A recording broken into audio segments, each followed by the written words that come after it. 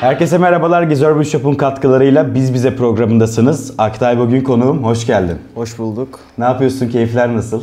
Keyifler çok iyi. Burada olmak çok güzel. Çok güzel ağırladınız. Teşekkür ederim. Estağfurullah. Aylardır, yıllardır bu planı yapıyorduk zaten. Evet, Yıllardır evet. tanışmamıza rağmen bugüne Aynen. kısmet oldu. Evet, albümden sonra diye konuştuk. Albüm uzayınca zaten. Ama şimdi çıkmaya yakın o yüzden güzel oldu. Hadi Tam o zaman madem albüm konusunu açtık, albümden başlayalım. Neden çıkmadı albüm bugüne kadar? Albüm 8 aylık kaybolma sürecimi anlatıyor. Zaten biliyorum bir süredir şarkı yayınlamadım. Ortadan kayboldum. Evet. Hele herkesin falan patladıktan sonra. 8 ay geçti. Dedik bunu albüme dönüştürelim, anlatalım olayı. Sonra bir süre daha geçti üzerinden.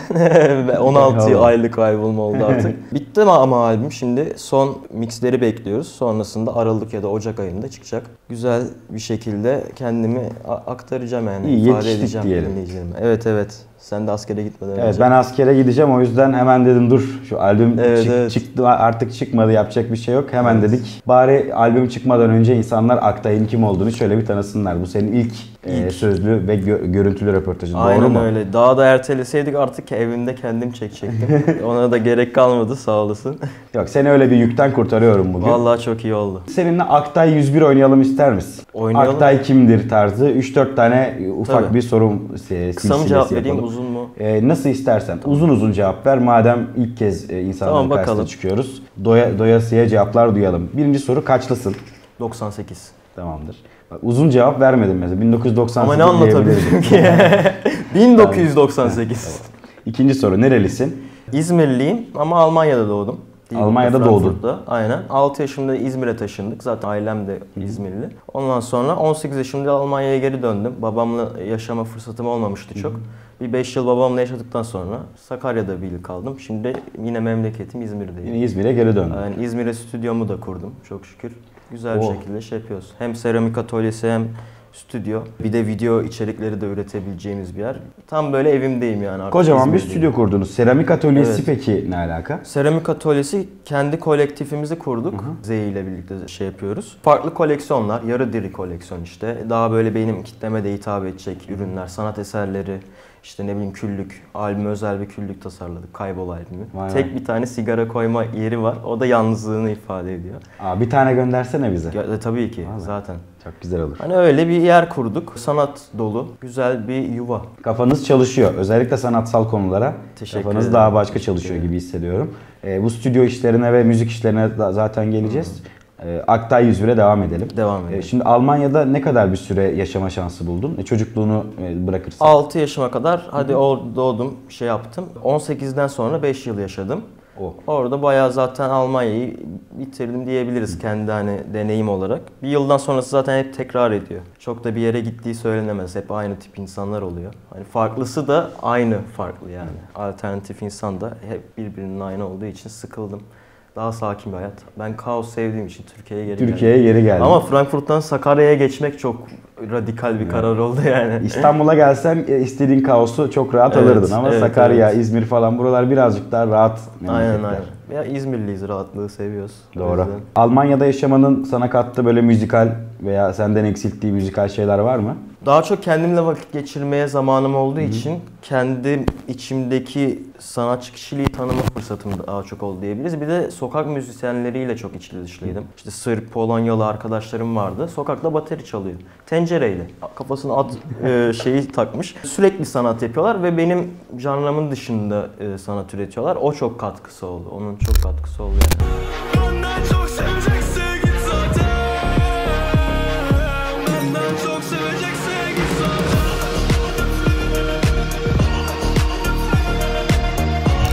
Sanatın birçok dalını tanımış oldum. Belki de Aynen şimdi öyle. bu kurduğunuz kolektifin böyle olmasında da etkili olmuştur belki. de Enerjisi özellikle. Hani dışarıda freestyle, onlar bateri çalıyordu, ben freestyle atıyordum. Para geliyordu, bölüşüyorduk, harcıyorduk. Zaten ülkelerinden sırf hani Frankfurt'ta para kazanmak için geliyorlardı.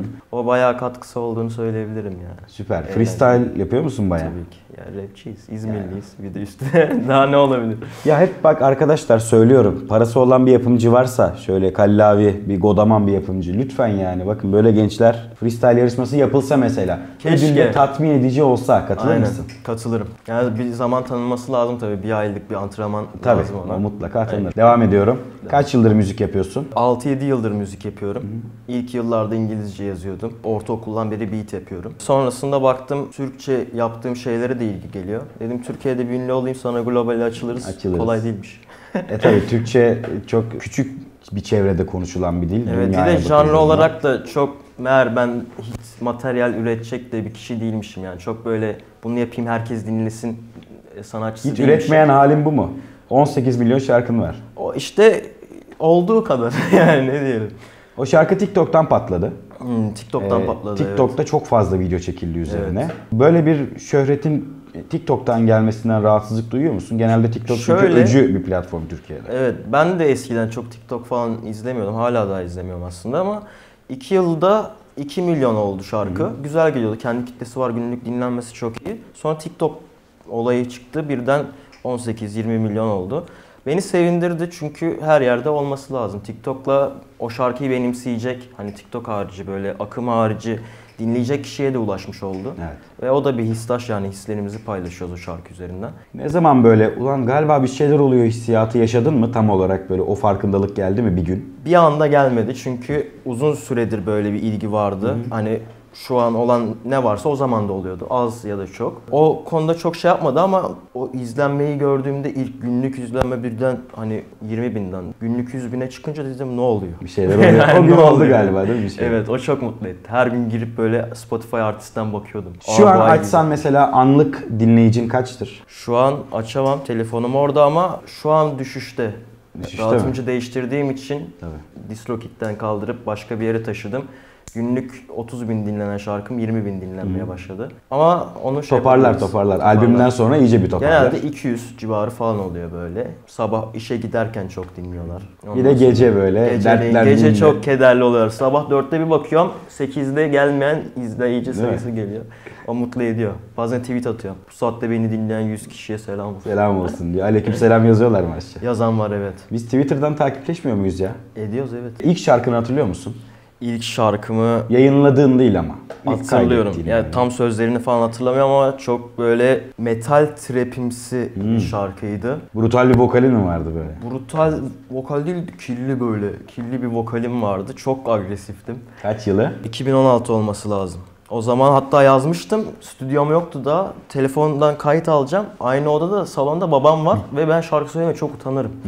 Babam işte bu arkada ses kaydı alacağım çok utanmıştım. Sonra gittim amelelik yaptım, stüdyomu kurdum. Odamda kayıt almaya başladım. Kendi stüdyonu direkt kurmuşsun bu arada ilk Direkt ya, kaydın için. ya Almanya'da bir hafta çalışıp kurabiliyordun. Burada Tabii, biraz doğru. daha sürüyor çalışıp. Bir yıl falan çalışman gerekiyor. Evet. Belki bir tane ses kartı alabiliyorsun bir yıl Aynen, çalışınca. aynen. Ertesi yıl bir tane mikrofon alıyorsun. Evet. Referans monitörlerinin tanesi için birer yıl daha çalışıyorsun. İlk işte bir hafta çalıştım amatör bir şekilde kurdum. Hı. Sonra dedim bunu geliştirmek lazım. Onu da geliştirdim. Şu an Türkiye'de herhangi bir stüdyoya gittiğimde aynı ekipmanları falan görüyorum. O yüzden evimde gayet stüdyoya gidip kayıt almışım gibi rahat bir şekilde kayıtlarımı alıyorum. Stüdyonuz Türkiye çapında oldu şu anda kurduğunuz Tabii, stüdyo. tabii. Stüdyonun adı var mı? Yarı diri key. Yarı Diri. Aynen. Zaten e, sizin label'ınızın adı da Yarı Diri Aynen aynen. olarak Koleksiyon, görüyorum aşağıda. Evet evet yarı diri. O bağımsız bir şekilde kendi şarkılarımı o. Evet konuyu oraya getireceğim. Yani bağımsız bir şekilde devam ediyorsun. Genelde e, belirli bir yükselişe e, yakalamış sanatçılar e, Universal gibi bazı firmalara tabii ki de böyle bir oturup konuşuyorlar. Şu anda herhangi bir şirketle bağlantınız veya bir konuşmanız var mı yoksa bağımsız bir duruş sizin için daha mı iyi? Uzun zamandır var. Hani dönem dönem şirketlerle, neredeyse tüm şirketlerle konuşmuşumdur yani. Güzel anlaşmalar oldu. Anlaşmalar kötü başlayıp bizim hani şeyimizle güzelleşti ama hep böyle içimde bir naz vardı. Yok hani e, olmasın ha, şey falan. Çünkü bir tık bu kovalamaca beni hayatta tutuyormuş gibi hissediyordum eskiden. Olacak mı? Nasıl yapacağım? İşte klip çekeceğim, bunu yapmam lazım, bu olacak falan. Hep bu içimi kıpırdatıyordu. Bir, bir label'la anlaşıp her şeyin başkaları tarafından yapılması ya da çok kolay olması beni bir tık korkuttu. Belki dedim yaşama hevesim kalmaz. Kovalayacağım bir şey kalmaz. O yüzden geri durdum. Ama şimdi e, bir yerlere geldim yani. Beni tatmin edecek bir yerlere geldim.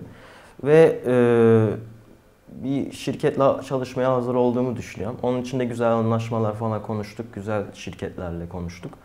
Ee, albümden sonra olacak inşallah. Albüm bağımsız bir şekilde çıkıyor. Albüm bağımsız onu kimseyle anlaşmak istemedim. Güzel fiyatlar almama ra- rağmen yani. İlk Dedim, albümün benim sonuçta senin için yavrum 20 o yıl sonra da Aynen, aynen. Benim şey. elimde dursun. Öyle yayınlayayım dedim. E bir de bugüne kadar bağımsız patlamışsın yani. E, Birazcık daha bağımsız E, hep yürümenin. düşünüyorum. Şimdi buraya kadar kendim gelmişim zaten. Bundan önce olsaydı tamam, buna tamam derdim. Ki bundan önce de oluyordu demedim. ama şu an diyorum işte yok onlar bunu yapacak ama bunu ben de yaparım. Niye hani pay vereyim falan gibisinden ama öyle değil ya. Her yere yetişemezsin bunu anladım. Başkalarıyla çalışmaya başladım. Kliplerim için Tolga'nla çalışmaya başladım. Prodüktör e, Miles'le çalışmaya başladım. Selim en yakın arkadaşım. Cidden her şeyi kendin yapman gerekmiyormuş yani. Selim'le öyle bir uyum yakaladık ki harbiden. Ben değilim bu arada arkadaşlar. Aynen, ben o sunucuyum. Selim değil. Aynen. Hani öyle bir uyum yakaladık ki harbiden ben mesela beat'te kendimi o kadar ifade edemem. Ama Selim bir beat yapıyor, beni ifade etmiş yani harbiden. Senin prodüser tarafında var. Tabii tabii herkesin cenneti müjdeleyen birçok şarkımı kendim Birçok şarkın kendi prodüksiyonunda. Helal olsun valla. Kompakt bir bağımsız müzisyensin. Evet çok Yolunda başarılar diliyorum Teşekkür ve sorularıma devam ediyorum. Bu arada e, Aktay 101 bitti. Bitti Ee, tamam. O yüzden sorularıma şimdi devam ediyorum. Şimdi e, şarkı aralarında, bridge'lerde falan çok komik konuşmalara da şahit oluyorum. Yani birkaç ay önce bir şarkını dinlemiştim. Hangi şarkı hemen yazmışımdır hatta buraya. Bu Neyse. konuşmalıysa kafanda kurmuşsun olabilir. Kafanda kurmuşsun da evet inanılmaz komik. Abi yenge arıyor bir şey soracak galiba. Soru sorma soru sorma. Ya bana niye kızıyorsun? Kardeş, Ferdi ben sana mı kızıyorum?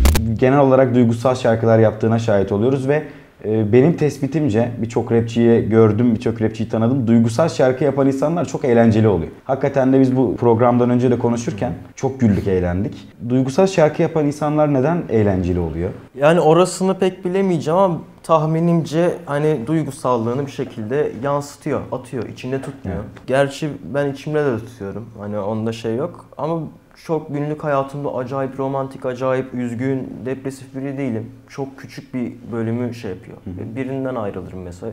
Bir ay sonra iki gün ayrılık acısı çekerim. Ama sonrasında bayağı şarkı yazarım mesela. Atarım içimi. Belki böyle yansıtıyoruz kendimize. O yüzden öyle oluyor. Daha önce şarkı yazmak için birini terk ettiğin oldu mu ya da terk edildiğini hemen of iyi terk edildim dur bir şarkı yazayım gibi. Yakıt olarak kullanıyor musun yani yaşadıklarını? Ya şöyle oluyor. E, ilişkinin içerisindeyken çok iyi giderken her şey o zaman belli oluyor bir tık. Ben bu kızdan ayrılsam çok üzülürüm.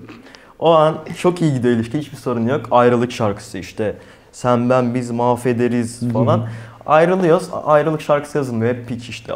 Böyle yaparız şöyle falan filan. Daha hareketli güzel şarkılar çıkıyor. Bir tık ilişki o konuda yardımcı oluyor. Bir de ilişki bittikten sonra dediğin gibi tamam ayrıldık ama güzel bir albüm gelir buna. İlişki ne zaman bitse aylık dinleyici bir 100 bin Aynen, artıyor nedense. Aynen kesinlikle. E bu hesapla Aktay'ın daha önce kaç ilişkisinin olduğunu hesaplayabiliyoruz. Matematik yeter. Tabii hiç, aylık 350 bin dinleyicin var şu an. Aynen. 3 ilişkin bitmiş olsa Kişi 50 başı 100 binde, bin desek. aynen. 50 binde şu an zaten kemik 50 binde olsa. flörtler Aynen, flörtler şey falan. Aynen, güzel tamam. Eline sağlık. Geçiyorum diğer soruya. E, müziğini takdir ettiğin rapçiler var mı? Türkiye'de Müziğini özellikle. takdir ettiğim Ezel kesinlikle. Şehinşan Flow'u olabilir. Kelime haznesi olabilir. No 1'in hissiyatı ve randomlığı. Yani bir barında bir şeyden bahsederken diğer barında başka bir şeyden bahsediyor ve bir şekilde bu harmoni yakalıyor. O çok güzel. Sen No 1'i saymasam ben sayacaktım. Kesin No 1 dinliyorsundur diye. No 1 severim ya çok severim burada. Kalp. Can abi. Spade, Spade freestyle ile olsun, enerjisiyle olsun o old school'luğunu koruyabilmesi çok takdir ettiğim ve sevdiğim bir sanatçı. Onun dışında bizim çete var, Young Mess var. Young Mess de yine Spade ve No 1 gibi böyle farklı şeylere, aynı pencereden bakabildiğimiz kişilerden biri. Birçok Öyle. şarkınız da var zaten. Var var evet. Daha da olacak. Hadi bakalım. Albümde var mı? Düet falan. Albümde düet yok. Albümde daha kendi başıma olmak istedim çünkü kendim kayboldum.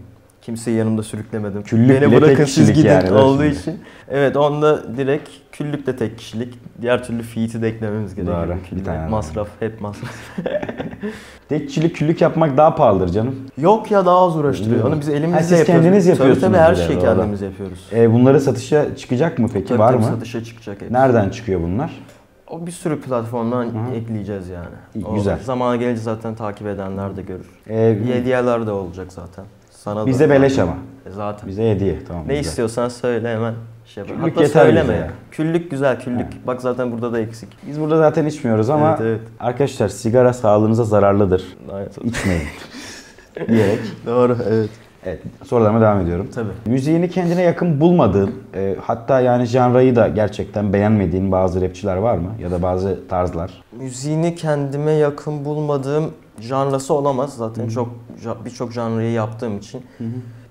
Müziğini sevmediklerim var ama söyleme taraftarı değilim. Söyleme taraftarı değilsin. E, herhangi bir disleşme falan yaşamadın değil mi bugüne kadar? Yaşadın mı hiç? Disleşme Eski tarihli falan da çok olabilir. eskiden acayip amatör bir şarkıda Ben Fero'ya Aa. diss atmıştım. Aa, Orman- 2018 o- falan mı oluyor?